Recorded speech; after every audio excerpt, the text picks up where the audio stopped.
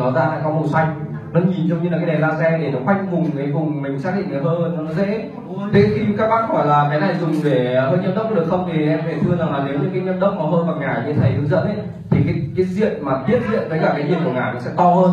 Nhưng đối với dùng người lớn thôi nhưng trẻ nhỏ mình hơi nhâm đốc bằng cái cái cái cái uh, ngải uh, ngải đốc của mình kia thì mình rất là nguy hiểm bởi vì nó làm nó ngọ ngoại nên mình có thể mình dùng cái này mình hơi từ từ thôi. Thế còn mọi người hỏi là thế này có nóng không thì khi mình cắm mình cắm thì lúc đầu là tầm gần một phút thì nó sẽ nóng dần lên nóng dần lên thì mình mình uh, có cái hay chỗ này mọi người là cái này nó khác ở sấy tóc. Sấy tóc ấy thì khi mình cắm thì cái nhiệt nó ra nó đều nó nóng rất là khó xác định sinh huyền đấy thế nhưng mà cái này nếu mà mình dùng những cái vùng mà tiết diện nhỏ mình dùng sinh huyền thì cái này nó có cái khi mình chiếu này thì nó cái đèn đầu của nó ra nó chậm một đốt ngón tay lên màu xanh. Nó như là cái đèn laser để xác định vị trí của mình. Cái khi mình uh, có thể mình cắm nó hơi nóng này bắt đầu mình dần dần mình để xa. Thế mình muốn tăng nhiệt thì mình để gần.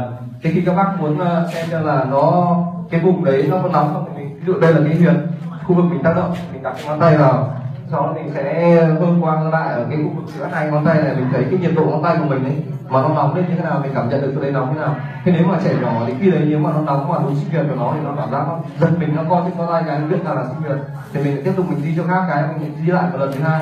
Sau lần thứ ba tiếp tục thì ba lần thì là một tác động cho một vùng sinh viên như thế. Cái nên là rất là hay.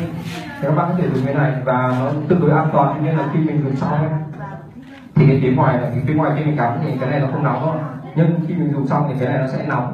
Nóng thì mình phải tắt về cái số 1 này, này. Bởi vì ở giữa số 0 có hai nút nút một nút hai thì chúng ta chuyển về vị trí số 1 xong để một lúc mình nhớ là chúng ta phải để cái này ở ngoài. Nếu chúng ta có đi lông cái nó nóng xong thì hết đi lông vào đây luôn. Hai nữa là ví dụ như là mình để vào mà giả dụ như người không biết là mà cầm vào một lúc này nó cũng tương đối nóng hơi dài tất nhiên nó không mức độ nó bỏng bỏng gãy tay và mang phồng như kia nhưng mà nó tương đối nó hơi dài nên mình để cố gắng để nguội một chút. Đấy à, có cái chia sẻ đấy các bác à, có thể là vận dụng bởi vì là những cái ngày tháng vừa qua là con dùng cái này rất là nhiều luôn. Ví dụ như mình nhá mình tác động cái phần liên quan đến cái phần huyệt mà sinh tuần sinh nhật ở phần phổi nhá.